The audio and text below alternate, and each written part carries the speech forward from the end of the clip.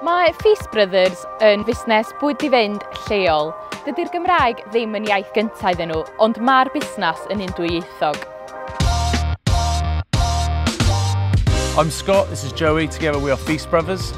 We established since September 2020 and we now serve pasta to lovely people of Anglesey. We set up in Anglesey because I've got some family nearby. It seemed like a no-brainer because the, it's such a beautiful place. We can trade by the beach and use loads of really great local produce. It's very important for us to be bilingual. We like to respect the history and the heritage of Wales.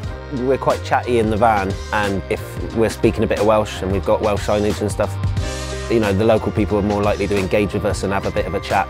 The reason we've asked for support from Menter Iaith Môn is because we want to be more accessible to Welsh people and local people. The grant's really going to allow us to increase sort of our bilingual signage, leaflets, menus, things such as that, um, and really keep that communication with the local people.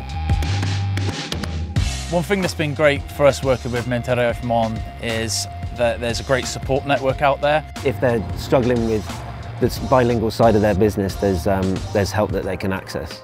Mae yna sawl peth all busnes i'w wneud er mwyn bod yn fwy dwyieithog. Pethau syml fel bwydlenni dwyieithog, post cyfryngau cymdeithasol, cyfarch yn y Gymraeg ac yn y blaen. Dio ddim otch os nad ydych chi'n siarad llawer o Gymraeg neu ddim Cymraeg o gwbl.